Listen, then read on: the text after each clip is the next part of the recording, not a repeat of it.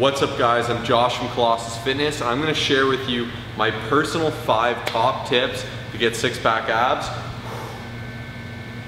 So if you're looking to get yourself some of these, you're just gonna have to follow these tips. Let's dive into it with tip number one. Call me Haymaker. Always going big. Yeah, you know the kid.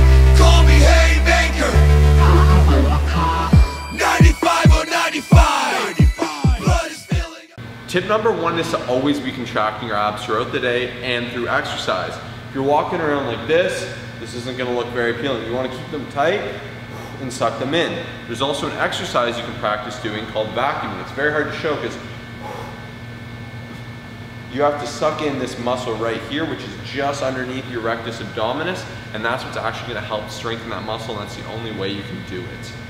My second tip is it all lies in the breathing. You wanna make sure you're having big breaths on the way out, and that will naturally contract your abs. So that's how you actually contract them. So it makes sense to be doing it during the exercise.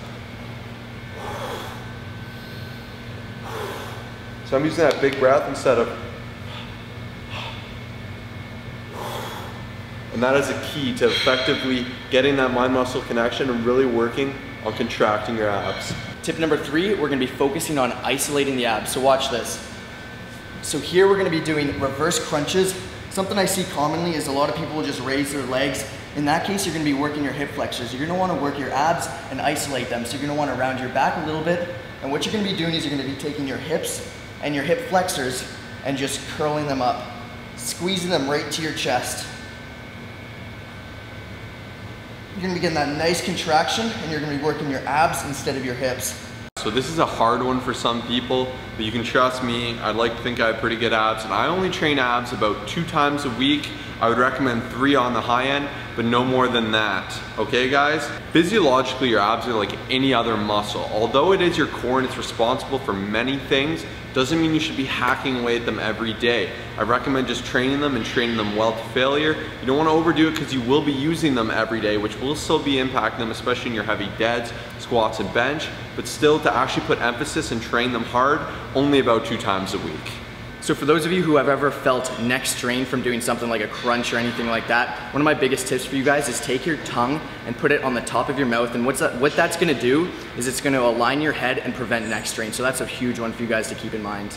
Sixth and final tip is to actually make sure your nutrition is on point.